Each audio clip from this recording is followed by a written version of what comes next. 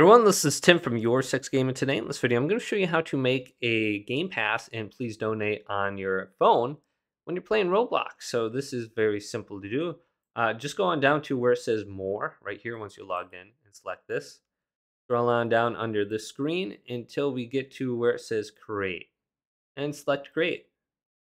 Okay, when we open this up, we want to scroll on down to our experiences and then just hover over your experience. If you uh, hold down on the screen under experience, you should see manage experience. Let's select it now.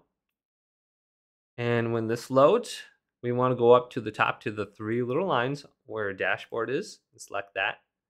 Scroll on down under here until we get to monetization. And then go to passes and select passes. And you can see all my game passes under here. Uh, let's go to create a pass. Now you have the option to upload an image if you want. But I'm going to go to name and name this one $1. You can name it wherever you want. And then description, please donate or whatever. And then we can go to create pass. Now we're not done yet. We need to go back to the pass we just created and select it. Then go back up to the three little lines, and this is very important. And then go to sales.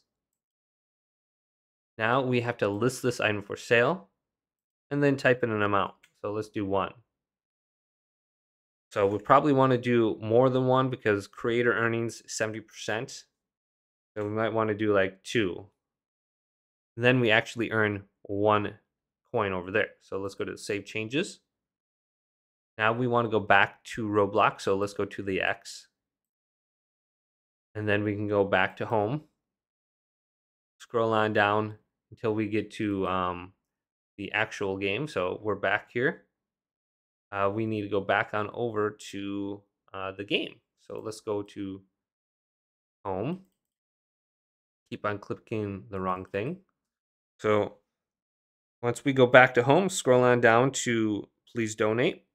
Go to continue. And then let's launch this right now. And we just have to go up to an unclaimed stand, hold down on it, and then our game passes will display on there. So I'm just about in the game right now. And I can look around. So let's go over to a stand now and find something that's unclaimed. Oh, I sat down. And it's very easy from there. I'll automatically do it for you. So this one looks unclaimed. So let's just go up to it and hold down on it. And our game passes will automatically display above it. You can see it's claimed right there. Very easy to do, and then you can change the stand and what the way it looks, etc. So hopefully this video did indeed help you out. If did, leave it a big thumbs up. And subscribe my channel down below for more tech videos coming up next on Your Six Gaming.